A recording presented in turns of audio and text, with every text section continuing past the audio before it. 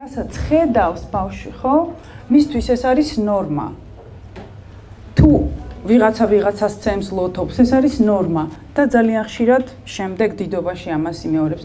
თუ ვიღაცა ძალიან თავდაჯერებულია და არავის უფლებას არ აძლევს რომ შეურაცხყოფა მიაყენონ ან რაღაც ან რაღაც, ხო? ესეც არის ნორმა და ისიც ავტომატურად იმეორებს. ამიტომ არის ნათქვამი, გახსოვთ ასეთი ბრძნული გამონათქვამი არის არ მახსოვს ვისი, რომ ნუ აღზრდით თქვენს ბავშვებს, აღზარდეთ საკუთარი თავები, იმიტომ რომ ისინი მაინც თქვენ დაგემგვანებიანო. ხო დაგემსგავსებიანო. ანუ კი ბატონო, შენ შეიძლება 1000 ჯერ უთხრა შენ შვილს რომ შვილო სიგარეტი არ მოწევ და ამ დროს შენ თვითონ არ შეიძლება სიგარეტის მოწევა ამბობ, ხო? რა თუ არ შეიძლება, მაშინ შენ რატომ ეწევი? შესაბამისად არ გაგიკვირდეს რომ ბავშვი ამას გაიმეორებს და აბსოლუტურად ყველაფერში ასია.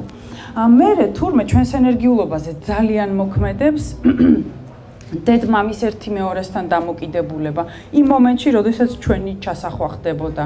დედმამის სიყვარული ერთი მეორისად მილტოლვა, ორგაზმული განცდები, როდესაც ეს ბავშვი ისახებოდა. რაც უფრო მეტია ეს და კარგია, თავისთავად ბავშვიც უფრო ენერგიულია და ნუ მომავალში ადამიანი ხო ხა ყველა მანდედან მოვდივართ ხო? და რაც ნაკლები მით მეტი დაბრკოლება აქვს შიგნით ადამიანს, ხო?